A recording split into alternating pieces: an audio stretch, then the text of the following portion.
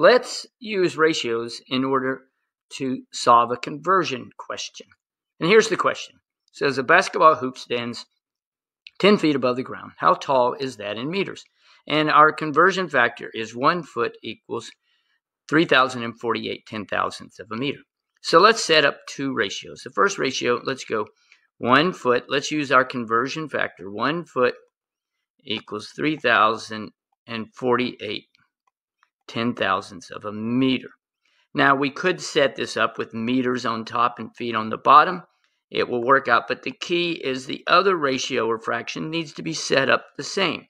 And let's use what's given. We have 10 feet. So we let's write 10 feet here. Okay, sorry that foot is a little messy. And then x is meters because that's what we're trying to find. Notice that we have feet and feet. Okay, so now let's do a cross product. 10 times 3,048 ten thousandths equals 1 times x. Let's call that x. Now let's multiply this. Since it's a 10, I know that I can just move this decimal one place to right there.